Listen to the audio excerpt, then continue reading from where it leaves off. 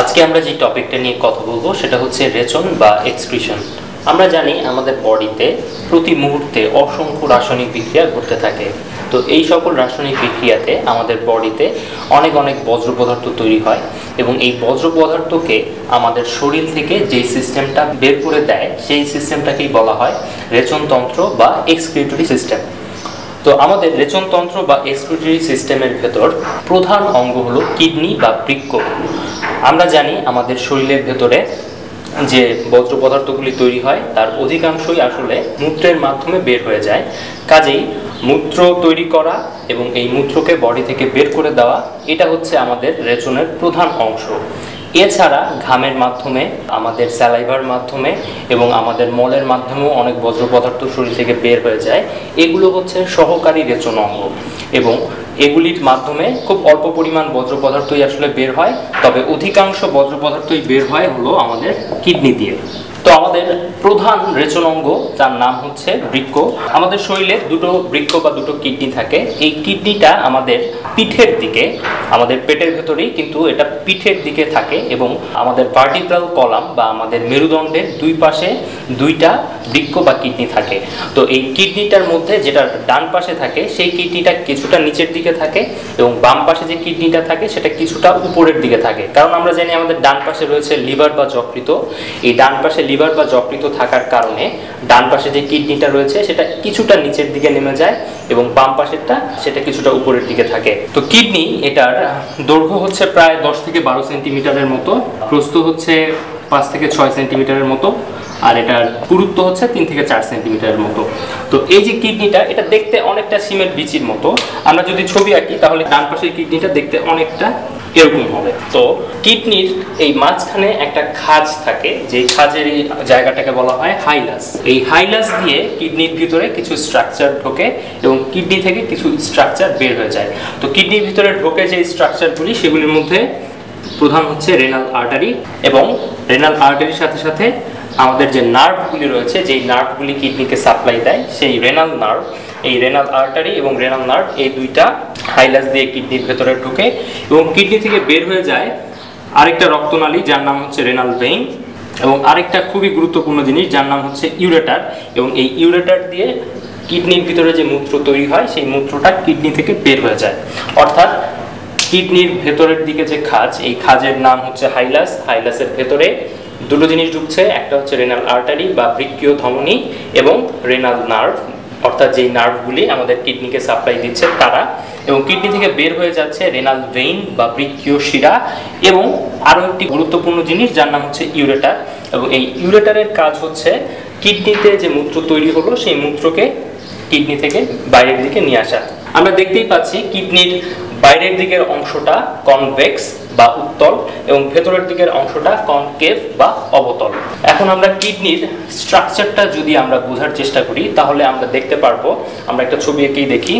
কিডনির স্ট্রাকচারটা যদি আমরা ভালো করে দেখতে চাই, তাহলে আমরা প্রথমে দেখতে পারব যে কিডনির বাইরের দিকে কানেকটিভ টিস্যুর একটা আবরণ থাকে, যে আবরণটাকে আমরা বলি ক্যাপসুল। অর্থাৎ কিডনির বাইরের দিকের যে আবরণ, এই আবরণটার নাম হচ্ছে ক্যাপসিউল এবং এই ক্যাপসুলটা আসলে তৈরি হয় কানেকটিভ টিস্যু দিয়ে। এরপর কিডনির, এটা ডান কিডনি, কিডনির এটা হচ্ছে বাইরের দিক আর এটা হচ্ছে ভেতরের দিক। আমরা কিডনির বাইরের দিকের যে অংশটা, এই অংশটাকে আমরা বলি রেনাল কর্টেক্স এবং ভেতরের দিকের যে অংশটা থাকে সেটাকে বলা হয় রেনাল মেডুলা তো এই মেডুলাতে অনেকটা পিরামিডের মতো দেখতে। এরকম কিছু স্ট্রাকচার দেখা যায়, যেটাকে বলা হয় রেনাল পিরামিড আমরা দেখেছিলাম এই বাইরের অংশটার নাম ছিল হচ্ছে কর্টেক্স তো এই রেনাল পিরামিডের মাঝখানের যে ফাঁকা জায়গাগুলি, এই জায়গাগুলিতেও আমাদের রেনাল কর্টেক্সটা ভিতরের দিকে ঢুকে পড়ে কলামের মতো অংশ তৈরি করে এবং এই অংশটাকে বলা হয় রেনাল কলাম অফ বার্টিনি, বা বার্টিনির কলাম বলা হয়।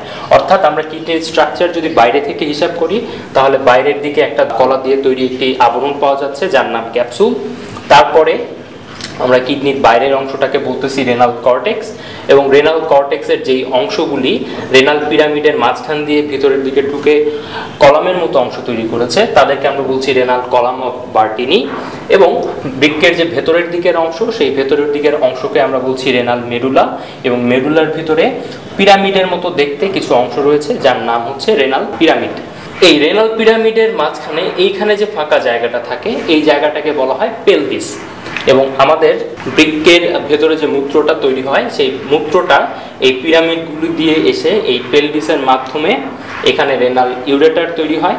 সেই ইউরেটারের মাধ্যমে আমরা যদি ইউরেটারটা আঁকি, ইউরেটারের মাধ্যমে সেটা বের হয়ে যায় এবং নিচের দিকে থাকে মূত্রথলি বা ইউরিনারি ব্লাডার। সেই ইউরিনারি ব্লাডারের মধ্যে মূত্রটা এসে জমা হয় এবং ইউরিনারি ব্লাডারের শেষে এখান থেকে শুরু হয় আমাদের ইউরেথ্রা এবং এই ইউরেথ্রা দিয়ে আলটিমেটলি মূত্রটা বের হয়ে যায়। অর্থাৎ এই পাশ থেকে একটা কিডনি, এই পাশে আরও একটি কিডনি। সেই কিডনি থেকে ওইভাবে ইউরেটার দিয়ে মূত্রটা আসলো। মূত্রটা এসে এইখানে মূত্রথলিতে কিছুক্ষণ জমা থাকল। মূত্রথলিটা যখন ইউরিন দিয়ে ফুল হয়ে গেল, অর্থাৎ এর ভলিউমটা যখন পূর্ণ হয়ে গেল, তখন এখানে ইউরেথ্রা দিয়ে মূত্রটা বের হয়ে গেল। এবং এখানে আমরা আরও একটা জিনিস আসলে জেনে রাখি, যেটা আমাদের জেনে রাখা দরকার। পুরুষের ক্ষেত্রে এই ইউরিনারি ব্লাডারের এই শেষের দিকের অংশে এইখানে একটা গ্রন্থি থাকে যে গ্রন্থিটার নাম হচ্ছে প্রোস্টেট। যে গ্রন্থিটা আমাদের মূত্র যে নালী রয়েছে, সেই মূত্র নালীর চারিদিকে আসলে বিদ্যমান থাকে।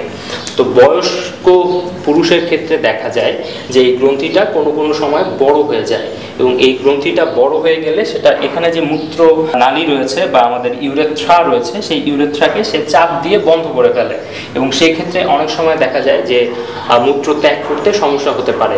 কাজেই এই প্রোস্টেট গ্ল্যান্ড যদিও এটা আমাদের রেচনতন্ত্র বা এক্সপিরেটরি সিস্টেমের অংশ নয়।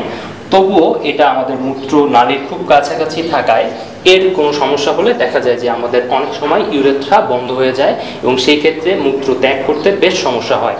কিডনি সম্পর্কে আরও কিছু কথা বলা দরকার। কিডনির ওজন সাধারণত দেখা যায় যে একশো পঞ্চাশ থেকে একশো সত্তর গ্রাম পর্যন্ত হতে পারে। তবে মহিলাদের ক্ষেত্রে সেটা আর একটু কম, একশো থেকে একশো পঞ্চাশ গ্রামের মতো হয়ে থাকে। এবং কিডনি, এটা আমাদের উদর গহ্বরের যে আবরণ, যার নাম হচ্ছে পেরিটোনিয়াম, সেই পেরিটোনিয়ামের পেছনের দিকে অবস্থান করে। অর্থাৎ এটা হচ্ছে একটা রেট্রো পেরিটোনিয়াল অর্গান বা পেরিটোনিয়াম গহ্বরের পেছনের দিকে অবস্থান করা একটা অর্গান।